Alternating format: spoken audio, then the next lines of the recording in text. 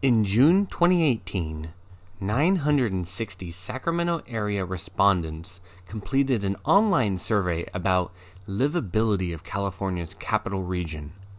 Questions covered overall quality of life and satisfaction, and asked respondents their opinions about issues related to the community's characteristics, development, education, food security, housing, mobility, and priority issues. When considering the findings from this report, it's critical to understand who took the survey. That is, where is this data coming from? Who were the respondents that gave their opinions and their information that led to the ultimate findings in this report? Respondents came from various areas around Sacramento. The majority, 57%, live in Sacramento County, followed up by 16% living in Solano, Yolo County, 10% lived in Placer County. Majority of respondents were female at 67%. Majority of respondents, 29%, earned $75 to $150,000 a year, followed up by 24% of respondents who earned less than $30,000 a year. Majority of respondents, 56%, own their home, while 32% were renters.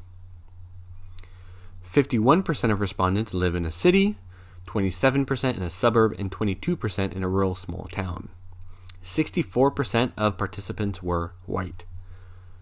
Age wise, majority of participants, 38%, were 53 years and older, followed up by 36% of participants who were between 18 and 36 years of age, and then 26% of participants were between 37 and 52 years of age. Quality of life was rated high for most respondents. 78% of respondents in the capital region report that they are satisfied with their quality of life, and 63% of respondents have pride and attachment to the region. The majority of respondents tend to see community characteristics like safety and access to amenities as staying the same as opposed to have gotten better or worse as they have in the past. However, level of satisfaction with quality of life rises with income.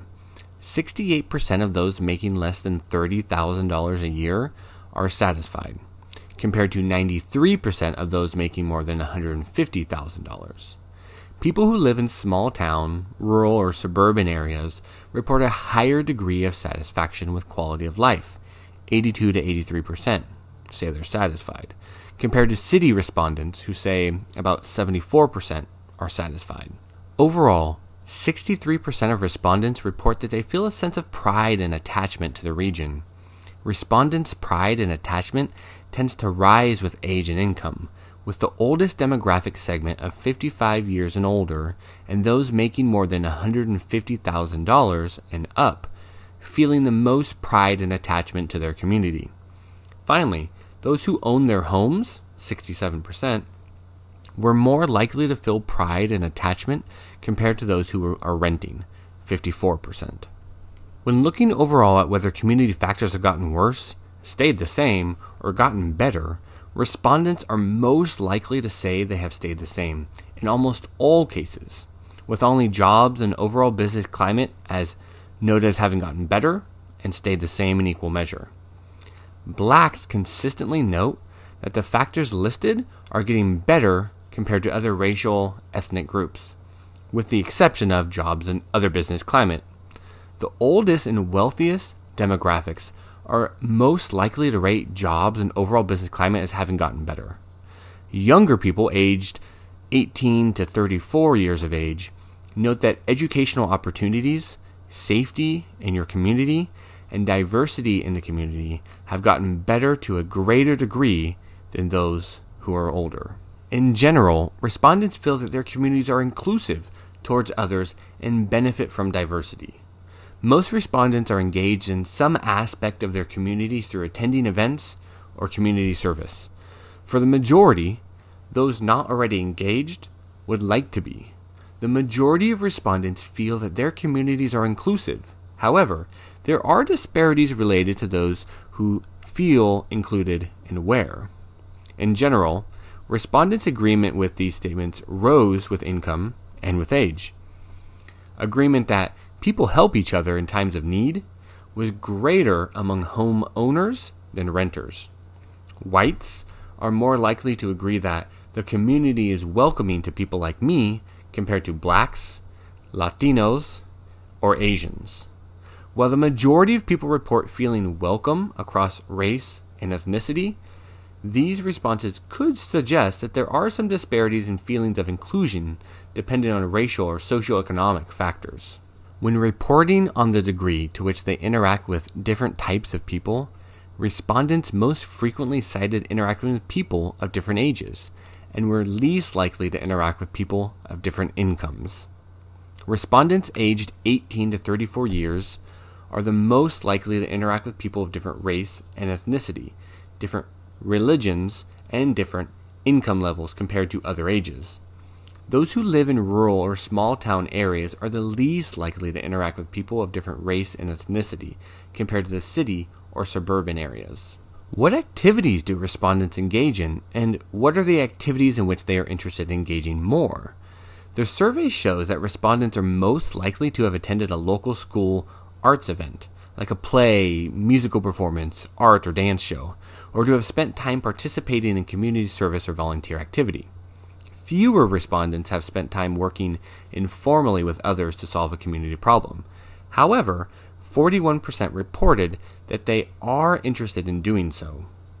Respondents were least likely to have participated in a political campaign at the state or at the local level, with 44% reporting they have not done so and are not interested. Across the board, respondents who own their homes are more likely to participate in each of the community activities mentioned. In many cases, those aged 55 years and older are the most engaged, with a couple exceptions, especially related to school type activities like sports and arts. In almost all cases, the youngest segment of 18 to 34 year olds are least likely to have participated in the community activities listed. Those who live in a city are more likely to have attended a political rally or an event than those who live in a rural or suburban area. Access to high quality education and neighborhood amenities are important factors in a high quality of life. Overall, respondents were more positive about the community college and four year institutions than they were about K 12 schools. For the most part, respondents reported a high degree of access to health services and neighborhood amenities respondents most frequently reported community colleges as above average in quality and were more familiar with the community college system than other school systems. In general, respondents' attitudes towards educational systems improved as income increased. Those living in rural areas were less likely to rate community colleges, four year universities, and vocational training programs as above average, compared to those living in cities or suburban areas. A minority of respondents rated K 12 schools as above average in delivering skills for kids. Young people aged 18 to 34 years were the most positive about the K 12 school system, rating it above average more frequently than older respondents. Those making $50,000 or less rated K 12 schools particularly poorly overall with no more than about 30% rating schools above average in any category. Women and renters were less positive about K 12 schools than men and homeowners, rating the K 12 system as above average less frequently. When looking at community colleges and four year universities, respondents were more likely to rate the qualities as above average. As income rose, so did respondents' rating of community colleges. Women rated community colleges and four year universities lower than men. 18 to 34 year olds consistently rated community colleges and four year universities better than other age groups. For example, 50% of 18 to 34 year olds cited contribute to creativity and innovation in the region as above average, compared to 37 38% of those 35 years and older. The majority of respondents report that the community has recreation facilities and parks and fitness facilities, and fewer report that the community has preschool, childcare, and low income health services. In all cases, except low income community health services, those in higher income categories are more likely to report that their community has the services listed. Those making less than $30,000 are the least likely of any group across all categories to report that their community has high quality preschool or high quality childcare. There are many ways that the Sacramento region shines. Inclusion, engagement, diversity, and high access are given high marks by poll respondents. However, there are also tensions. Poverty and growing economic disparities are eroding the quality of life and becoming more visible, respondents say.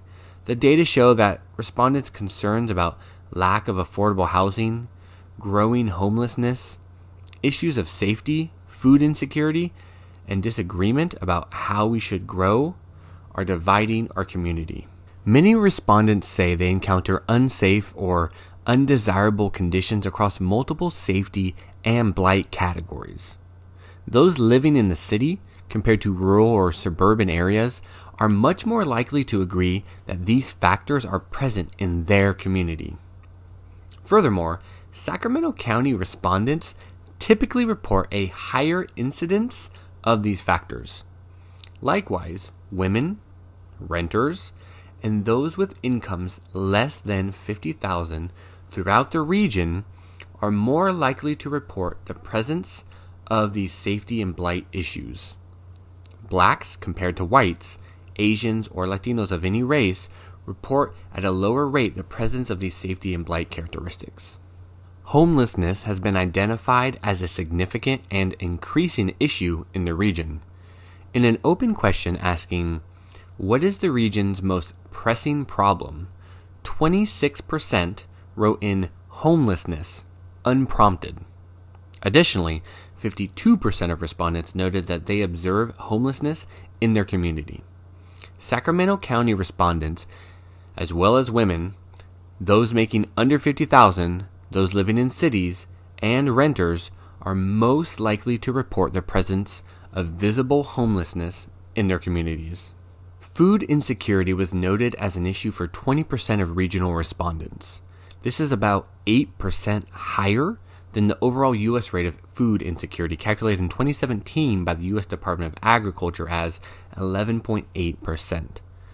Women report food insecurity at a higher rate than men by 12%. Renters and those making less than $30,000 report the highest degree of food insecurity across any other groups. The cost of food is the most significant reason contributing to food insecurity. Physical ability and availability of preferred stores are the two other reasons noted. For those making $30,000 or less, availability or preferred stores was the next most significant reason. 19% of survey respondents, or 193 out of the total 960 respondents, reported they always, often, or sometimes get food from a food bank or pantry. Affordable housing and growth are important and often divisive topics as our region faces increased housing demand amid affordable housing shortages.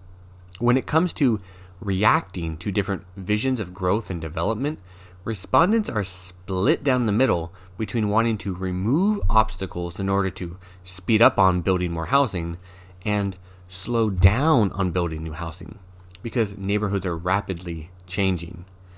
More than 51% of those 35 years and older, those who live in rural areas and homeowners, preferred slowing down on housing development. 18 to 34 year olds and renters prefer speeding up on building more housing to a higher degree than any other groups. A significant amount of respondents say they have moved in the last three years, 28%, or plan to move in the next three years, 33%. The most mobile in the regional population are 18 to 34 year olds, renters, and those living in cities. 59% of renters and 41% of 18 to 34 year olds plan to move in the next three years. Those making less than $50,000 plan to move at a higher rate than those in other income categories. Finally, Asians are both more likely to report having moved in the last three years and planning to move in the next three years compared to other races, ethnicities. People move for a multitude of reasons. The top cohesive category for why people moved in the last three years is to buy a house. However, fewer people are planning to buy in the next three years compared to how many bought in the last three years. People are most likely to move in the next three years to find a better location. Affordability and the presence of well maintained properties are key characteristics that respondents look for when moving. For those aged 18 to 34 years, the most important attributes they seek in a new place are well maintained properties, affordability, and high quality job opportunities. 18 to 34 year olds value accessible public transportation, access to higher education, and access to a variety of employment opportunities to a higher degree than those aged 35 years and up. 48% of respondents currently live in suburban areas and 37% want to live in suburban areas. Respondents prefer suburban areas with a mix of houses and businesses compared to houses only. 19% of respondents reported wanting to live in rural areas. However, only 5% of those surveyed actually live in rural areas. When looking at reasons for why people have moved in the last three years, cheaper rent was an issue for those making under 30,000, those living in Yolo Solano counties, and renters. Blacks and those making less than $30,000 were most likely to report being evicted or foreclosed upon.